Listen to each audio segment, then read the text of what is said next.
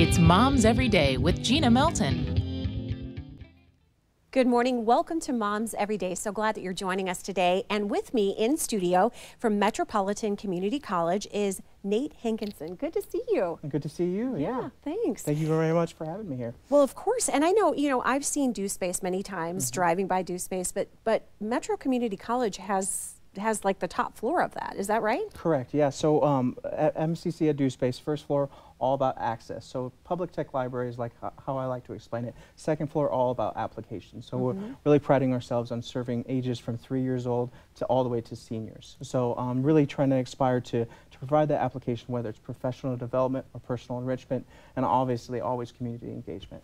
And there's some neat um, adult classes that you have coming up this spring and summer, right? Absolutely. So I'm really excited about some of our adult classes. We're going to have um, how to maintain a minimalist lifestyle. So really excited about Ooh. that class. Um, we're going to have a GPS for seniors. Mm -hmm. um, a lot of times, uh, technology, especially to the senior crowd, sure. can be kind of scary to them. You bet. Um, and so really trying to break down that fear and to just kind of slowly introduce them to technology is uh, very re rewarding as a, as a program bet. coordinator. So. I bet. How neat to see that, to see people learn and be engaged mm -hmm. and just feel good about what they're doing. Absolutely. Yeah. Mm -hmm. Now, if someone wants to sign up for any of your classes at DoSpace or at Metro Community College, how do they do that? So um, uh, very simple. You can go to our uh, website, mccneb.edu forward slash CE. And that CE just stands for Continuing Education, our specific department.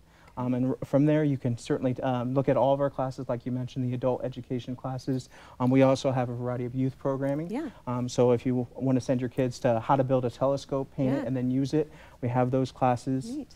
Um, and so really excited. Thank you very much. You yeah. bet, Nate. Mm -hmm. Thank you so much for coming today. Mm -hmm. And thanks for joining us from Moms Every Day.